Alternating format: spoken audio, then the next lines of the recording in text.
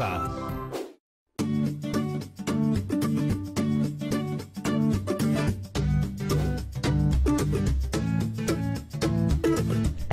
Bienvenidas y bienvenidos a Aprendo en Casa, una iniciativa del Ministerio de Educación para estudiar y adquirir nuevos conocimientos de forma ágil y divertida.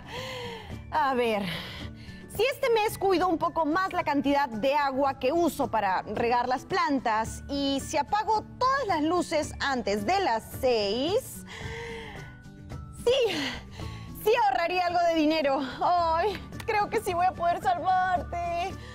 Qué alivio realmente. Ahora sí. Ah. Perdón. Puse esta alarma para acordarme cada vez que me toca una pausa activa. La dura vida de una emprendedora sostenible. Ahora sí, es momento de activarnos.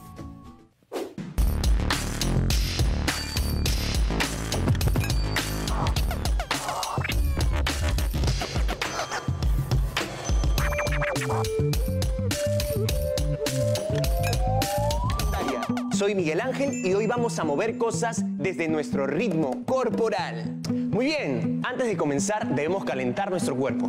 Comenzamos con la velocidad número uno. Y uno, lento, suave. Eso, activando el cuerpo. Suelta esa cabeza. Y ah. Bien.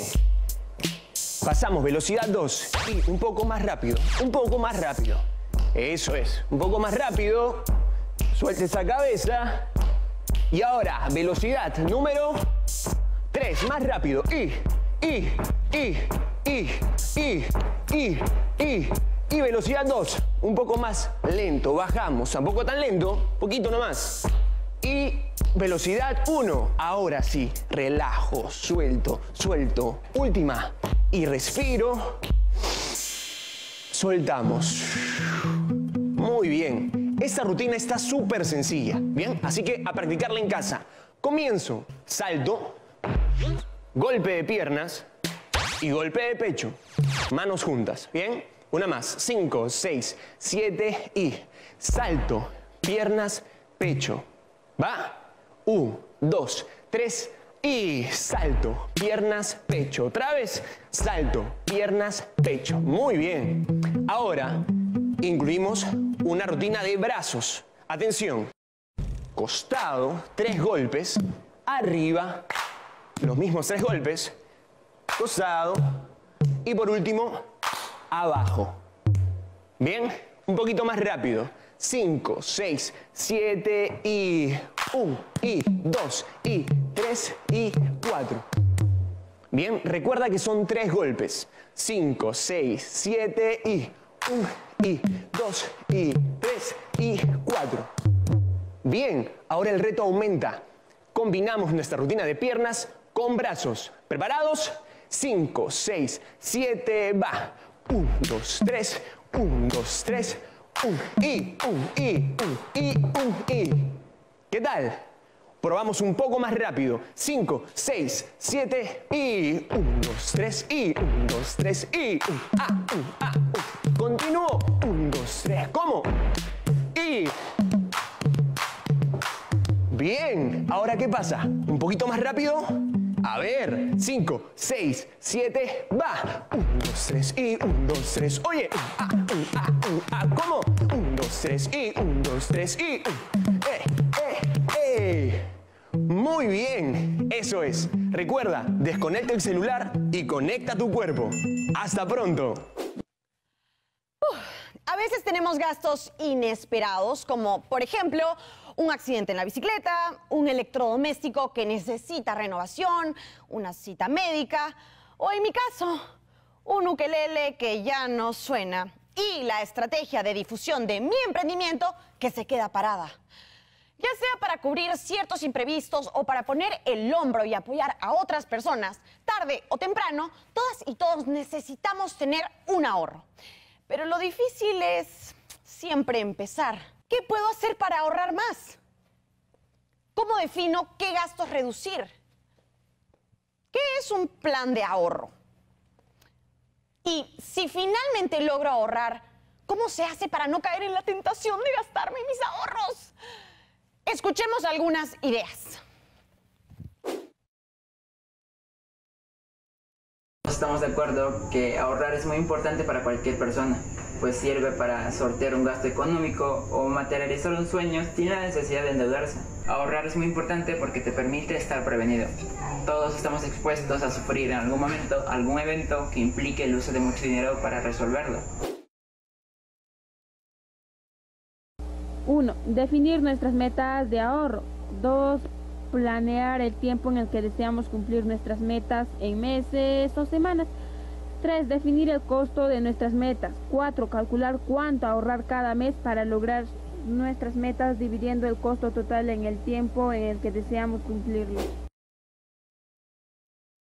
Conozco diferentes tipos de ahorros, como ahorros personales en alcancías y ahorros personales en los bancos. Sí, en más de una ocasión me he propuesto una meta de ahorro. Me acuerdo que ahorré para comprarme una bicicleta, pues me gusta mucho el deporte. Yo creo que las principales dificultades que se me presentaron en el camino fueron los gastos innecesarios y prescindibles, ya que cuando uno es joven anhela muchas cosas que en realidad no son de mucha importancia y nos desvían de nuestra meta. Pero si nosotros nos lo proponemos con disciplina y perseverancia, es una de las cosas más gratificantes que uno puede sentir. No es para nada una tarea fácil.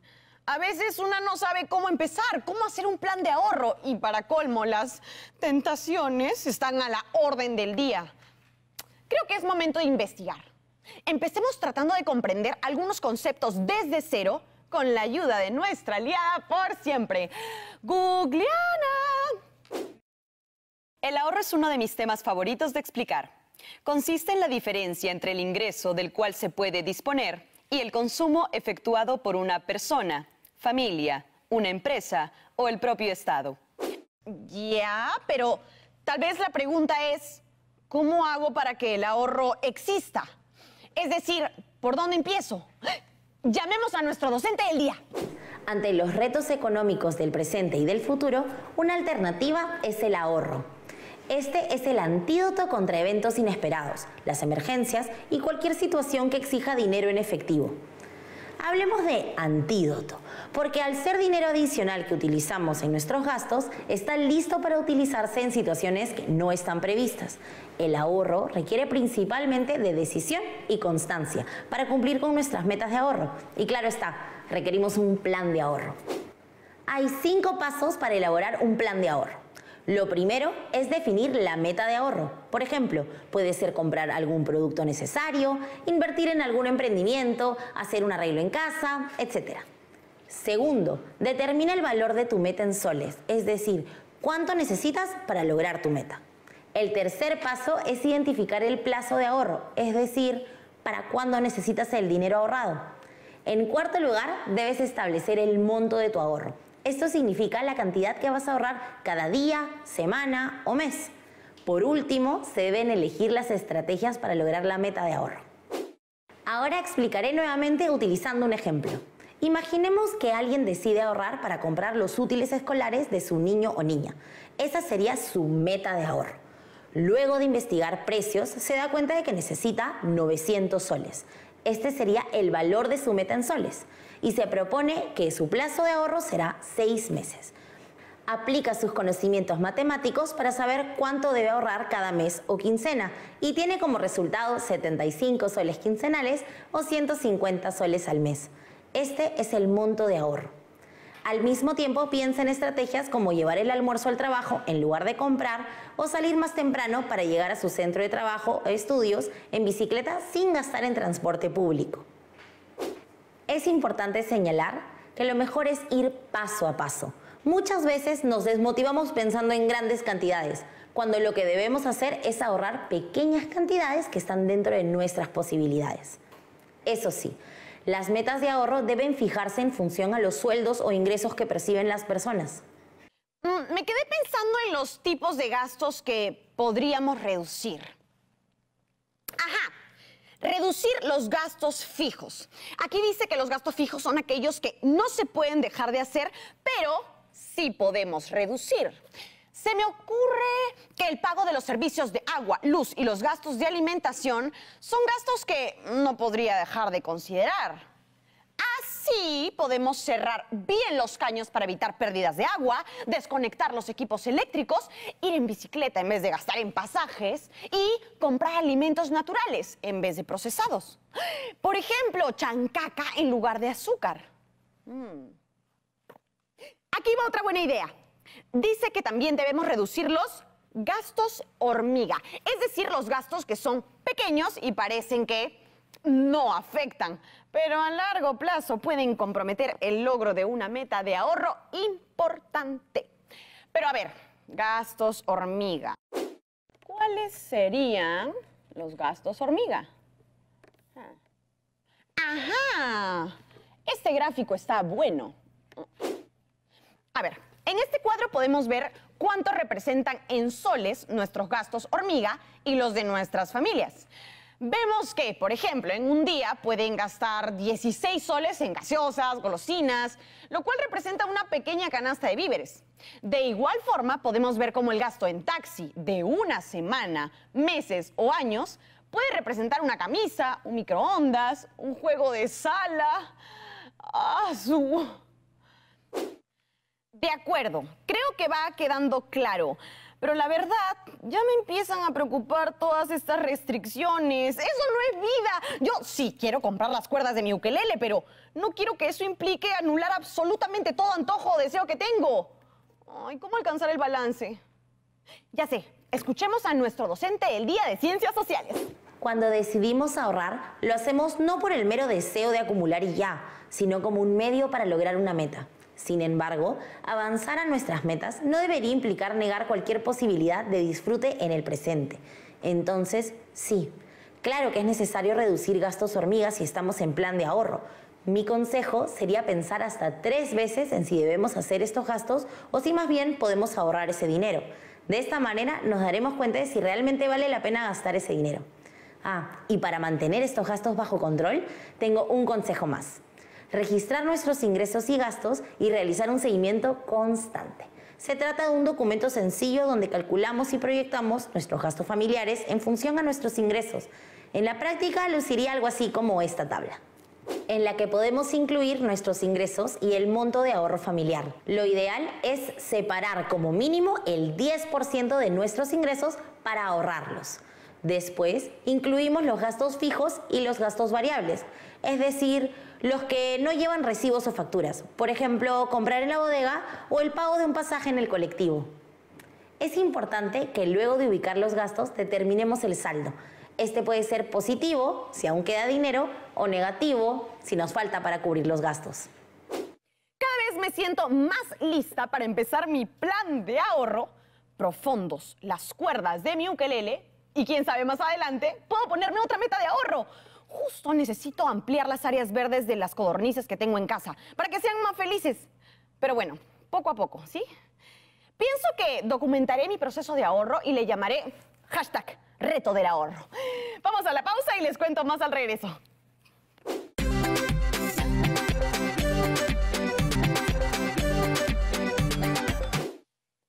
Día uno del hashtag reto del ahorro.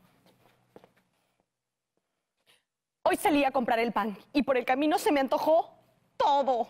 Helados, quequitos, arroz con leche, rodajas de piña y conforme caminaba y caminaba veía los negocios y quería detenerme, pero avancé y avancé y avancé sin mirar atrás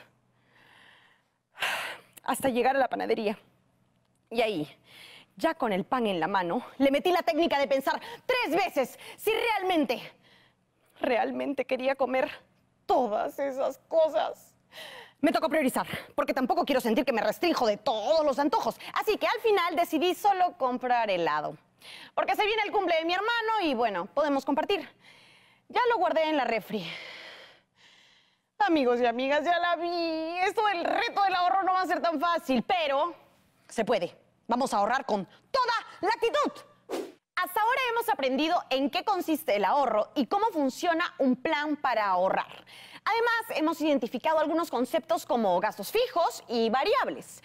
Creo que es momento de hacernos otras preguntas. Por ejemplo, acerca de cómo monitorear nuestro ahorro y dónde guardarlo. Conversando con Googleana, encontré que en Perú hay una institución que tiene muy buenos consejos al respecto. Esta es la Superintendencia de Banca, Seguros y AFP. Les muestro lo que encontré. Un primer consejo es revisar periódicamente nuestro presupuesto para hacer los ajustes pertinentes sin que se pierda de vista la intención de ahorro. Luego, la superintendencia recomienda que tengamos siempre presente nuestra meta de ahorro, especialmente cada vez que se haga presente la tentación de hacer un gasto impulsivo. Finalmente, nos aconseja conservar los comprobantes de nuestras compras o anotarlas en una libreta para saber cuánto has gastado y tener mayor claridad al abordar futuros presupuestos. Y ahora, la pregunta del millón. ¿Cuál es la mejor forma de guardar nuestros ahorros? Buscando un poco de información, encontré que según la Superintendencia de Bancas, Seguros y AFB, existen dos tipos de ahorro. Por un lado, el llamado ahorro formal, es decir, aquel que realizamos en alguna entidad financiera como bancos, cajas financieras o metropolitanas. Por otro lado está el llamado ahorro informal, que es aquel en el que guardamos el dinero en casa o el que se realiza en entidades no autorizadas por la Superintendencia de Bancas Seguros y AFP. Pero, ¿Qué es mejor? ¿El ahorro formal o el informal? Existen argumentos a favor del ahorro formal. Por ejemplo, la seguridad ante posibles robos. También bajo ciertas modalidades de cuentas bancarias, el ahorro en banco podría generar intereses a favor. Además, tener una cuenta demuestra que tienes capacidad de pago, lo cual permite acceder a otros productos financieros como préstamos, porque ven que sabes ahorrar. Y finalmente nos aleja del impulso de gastarlo, pues al no disponer del dinero en casa, la tentación de gastarlo es menor. Entiendo. Tal vez sirve un poco comprender rápidamente las dinámicas de acceso a servicios bancarios en distintas zonas del Perú. Escuchemos a una aliada. Hola. En Aprendo en Casa estamos tratando de entender cómo funciona el ahorro y hemos visto que la bancarización en Perú está aún en marcha. Desde tu experiencia de investigación, ¿qué ventajas ofrece la bancarización en contraste a otros esquemas de ahorro? Primero que todo, la seguridad de no ser asaltados, de no perder tus ahorros. Segundo, la formalidad y la posibilidad de acceder a los créditos del sistema bancario a través de, las empresas formales supervisadas por la Superintendencia de Bancos y Seguros. Esa es una oportunidad para financiar tu emprendimiento, para financiar tu, tu empresa, para financiar otro tipo de actividades que tú a nivel personal o familiar o empresarial necesitas. Tener una cuenta en el banco tiene muchas ventajas. Pero si no todas las personas tienen acceso a ir al banco y sacar una cuenta, ¿qué otras opciones hay? Hmm. Preguntando, preguntando, veo que existen otras formas en las que personas en nuestro país ahorran. Hay cooperativas, cajas rurales, también existen los clubes de ahorro o cajas comunes, que es un grupo de personas que se reúnen para lograr un determinado monto de ahorro. Normalmente los miembros comparten un mismo objetivo de ahorro. Por otro lado, están los grupos de ahorro y crédito rotativo. Ojo, que todos los esquemas de ahorro funcionan pues están basados en la confianza y valores del grupo de personas o comunidad que decide usarlo. Para hablar de este tema, conversaremos con un aliado. Hola Luis. Muchas personas de zonas urbanas y rurales despliegan estrategias de ahorro comunitario. ¿Qué beneficios ofrecen estas estrategias y qué riesgos podrían haber en estas formas de ahorro comunitario? Frente a este problema de exclusión, de marginalización que viven los más humildes de nuestro país. Eh, surgen estas estrategias de ahorro comunitario. La ventaja es que permite el acceso a préstamos, a capital de trabajo, ¿no? En general, ¿no? Eh, financiamiento, ¿no? Para resolver una serie de necesidades, ¿no? Y acceso a servicios diversos que este, los más pobres requieren, ¿no? Lo que no podrían obtener en el sistema financiero, ¿no? En los bancos, ¿no? Entonces, obtienen un beneficio en términos de capital de trabajo, en términos de financiamiento para eh, el acceso a servicios, ¿no? Y para resolver necesidades de vida cotidiana, ¿no? ¿Nos podrías dar algunos ejemplos de las dinámicas e instituciones de ahorro que surgen en ciertas comunidades al margen del sistema bancario? el censo que elaboró el Instituto Nacional de Estadística e Informática, ¿no? junto con el Ministerio de la Producción en nuestro país, dedicado a las cooperativas, ¿no? Eh, ha demostrado que hay 348 cooperativas de ahorro y crédito en el Perú que han sido censadas. ¿no? Y estas 348 cooperativas de ahorro y crédito incluyen aproximadamente a 2.400.000 ¿no? socios y socias. 2.400.000 socios y socias. De este total, ¿no? 40%, o sea, casi un millón. Son mujeres. Ese me parece que es un ejemplo muy concreto, ¿no? Del poder, ¿no? De la potencia, ¿no? Que tienen esas, estas estrategias de ahorro eh, comunitario, ¿no? Expresados a través, ¿no? De las cooperativas de ahorro y crédito, ¿no? Pero otro ejemplo también igual de este, potente, ¿no? Son eh, el movimiento, ¿no? De bancos comunales, ¿no? Hay aproximadamente unos 10.500 ¿no? bancos comunales en nuestro país. ¿Qué son los bancos comunales? Son experiencias justamente de ahorro comunitario, de ahorro asociativo este, local, ¿no? popular, ¿no? Que agrupan a mujeres, ¿no? Eh, sobre todo y principalmente, ¿no? Entre 10, 15, 20 personas, ¿no? Entonces, estos dos ejemplos, ¿no? Las cooperativas de ahorro y crédito, ¿no? Y los bancos comunales, me parece que reflejan muy bien, ¿no? Este, la pertinencia, ¿no? El poder, la potencia, ¿no? Que tienen las estrategias de ahorro comunitario, asociativo en nuestro país, ¿no? ¿Conoces algún caso exitoso de ahorro en Perú? ¿Nos cuentas al respecto? Creo que lo que habría que en primer lugar mencionar es este el largo proceso histórico ¿no? que estas experiencias expresan, en primer lugar. ¿no? Eh, creo que es importante reivindicar eso. ¿no? Eh, el origen ¿no? de la organización ¿no? de las cooperativas de ahorro y crédito, por ejemplo, ¿no? forma parte de ese proceso histórico. ¿no? La primera experiencia surge en 1954, ¿no? gracias al padre este, Nadiel McClellan. ¿no? Él crea la Central de Cooperativas Parroquiales. ¿no? Y esta central de cooperativas parroquiales después se transforma en 1958 en la Federación Nacional de Cooperativas de Ahorro y Crédito del Perú, lo que actualmente conocemos como la FENACREM. ¿no? Que es una, un gremio, ¿no? una entidad ¿no? que agrupa ¿no? a las cooperativas de ahorro y crédito en el Perú. ¿no? Entonces, como se puede notar, ¿no? hay un largo proceso histórico ¿no? detrás de las formas de organización ¿no? vinculadas ¿no? al ahorro este, comunitario. ¿no? Qué genial saber que todas las personas podemos establecer planes de ahorro a nuestra medida. Con todo lo aprendido hoy, creo que me siento mucho más preparada para cumplir mi meta de ahorro y por fin comprarle las cuerdas a mi ukelele. Además, es mejor ahorrar antes que endeudarnos, ¿no creen? A veces los préstamos nos salvan, pero pedir dinero prestado conlleva una gran responsabilidad y está sujeto a intereses. Y yo por ahora no quiero deudas. Tengamos presente que el crédito se debe usar solo para gastos extraordinarios, es decir, imprevistos importantes que generalmente se realizan una sola vez. ¿Y ustedes, para qué sueño quisieran ahorrar dinero? Ah, recuerden que todo lo que vimos hoy les ayudará a seguir construyendo su plan de acción. Bueno, eso ha sido todo por hoy. Nos vemos en el siguiente programa de Aprende en Casa. ¡Chao!